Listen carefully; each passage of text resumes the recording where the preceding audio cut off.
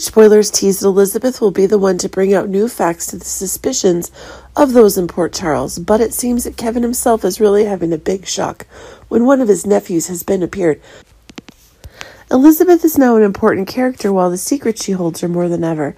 But keep in mind that if Elizabeth herself now wants some justice for Esme, then the attack that Nikolas is bringing is an injustice.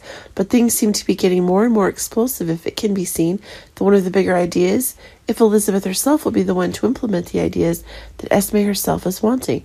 But remember that Elizabeth herself is also knowing that Esme is just a child in the sympathy when Elizabeth herself is having a child the same age as Esme is Cam, but it's Elizabeth's thoughts that are common for a retraining for Esme is the danger that negative thoughts are increasingly killing her calculations. But keep in mind that if Esme herself is really booming, then it will be Elizabeth who will need the help of a more physically fit people in Port Charles to ensure that the good direction Esme herself is having will be. Is one of the more explosive things when it is the information about Esme's relatives on the show that will make things even more confusing. It should be remembered that several months ago Kevin had doubts about Esme and Ryan's relationship, and it proved that an action to prevent Esme and Ryan's interaction was taken. But now that Elizabeth herself is bringing an agreement to her own point of view, it seems that things are becoming more and more explosive.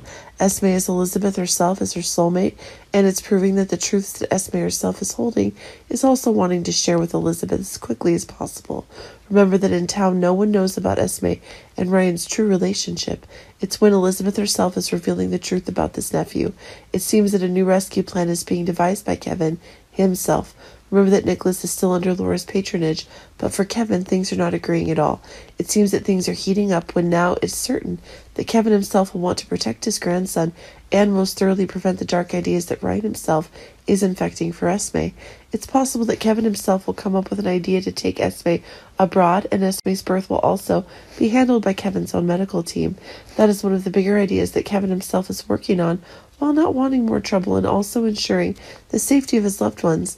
But it seems that when Ava and Nikolas themselves are pushed into even more disadvantageous situation, it's Kevin who will ensure that further safety and both Ava and Nikolas will accept some of their rights. They'll be blocked, but it seems that things are increasingly being prevented by Kevin, but maybe Liz is in trouble.